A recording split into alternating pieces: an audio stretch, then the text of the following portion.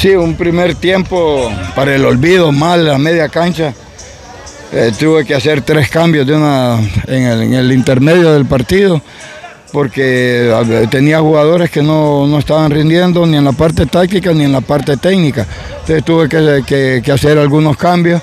El equipo mejoró, pero no nos alcanzó. Con un equipo de, de Londres que desde diciembre está trabajando es bien difícil. Profe, sexta jornada ya y ya solo queda preparar el partido para el repechaje, profe, por no descender. Exacto, ya no nos queda otra que hacer ese plan no, no regalar los puntos, ¿va? porque hoy vendimos cara a la derrota, estuvimos a punto de empatar 2 a 2, en un contragolpe nos hacen el, el 3 a 1.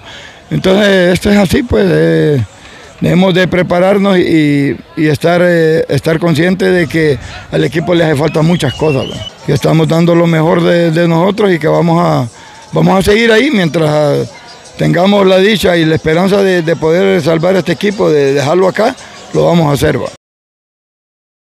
partido muy sufrido, muy complicado, un partido que nosotros hacemos un planteamiento en el que nos lo desbaratan con la expulsión, lastimosamente.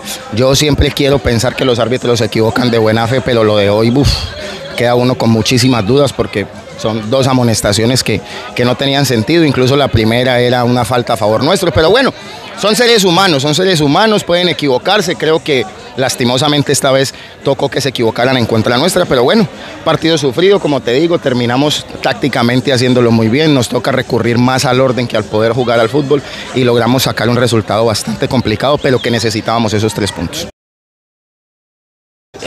Como pudieron ver en el grupo, la falta de actitud, o sea, no sé qué nos pasa, pero venimos de cinco derrotas y pues pensábamos que esta iba a ser la vencida, que íbamos a, a revivir con el triunfo, pero pues desafortunadamente otra derrota más. Sí, pues muchos partidos se ha notado la falta de actitud, muchas veces también, como pueden ver, jugamos muy bien a la pelota, pero pues no sé también qué es lo que pasa en lo personal o pues no sé qué pueda pasar, ¿vale? En lo personal, ¿qué piensas que pasa con este equipo que no termina de cuajar? Tres goles en la temporada no es malo, pero el Villanueva no ha sumado un punto en esta temporada. Sí, pues mira, tenemos que, o sea, tenemos que, o sea, que decían que la falta de trabajo, que el profe Gallo, que ahora tenemos un nuevo profe que trabaja, por supuesto, muy bien, súper bien, nos da la confianza y pues tampoco no, nos ajustamos, no sé qué es lo que pasa, la verdad no sé qué pasa, si es la entrega de nosotros, pero tenemos que mejorar, de verdad. Como dice vulgarmente, qué pena, pero en este deporte hay que tener huevos.